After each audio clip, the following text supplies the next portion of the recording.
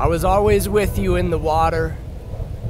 I gasped for breath beneath the tension, like insects crawling out of your skin, collapsing with the trees, groaning in your loneliness, harmonizing with the song a seed sings, subjected to futility, sinking a descent unto the dead hour, in the earliest morning before dawn, where the quiet is deepest, and the sheets are soft as the moon's pale beam or skin blanking, peeking through the window, lighting up the shell of a reflection in a mirror dimly lit but clear enough to see a devil demanding nudity and shame, breathing, drowning call them one and the same.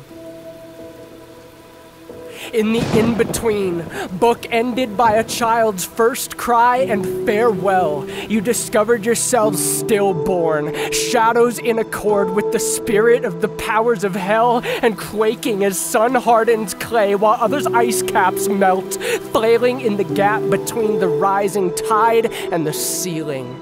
And it is a ceiling. Death for now.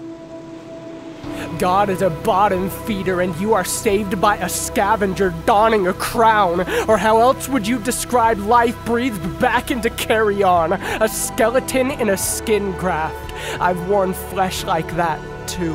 This whole world is a valley of dry bones. Inhale pollution, exhale mutiny. A heartbeat does not mean the same thing as being alive. You lived your lives for passion, for whatever you thought was right, for every desire of the flesh and the mind, and conquest and pride, and idolized the archon of the air of the time. I was always with you in the wilderness. Wandering embalmed and wrapped in shroud, and you were dead and deaf to my voice until I gave you the ears to hear me whisper your name aloud. My love, open your eyes. It's dark in the depths of that heart where death subjected you to his lies, but you are and always have been mine, and I have paid the bride price to give you the breath of life and unite the world in the grace of my kindness through these scars. Come alive. There is no grave to fear nor naked nakedness nor shame to hide. Come alive. There is no sin nor separation left. There is no great divide. Come alive. While once you were dead inside, I have seated you at my side. Come alive.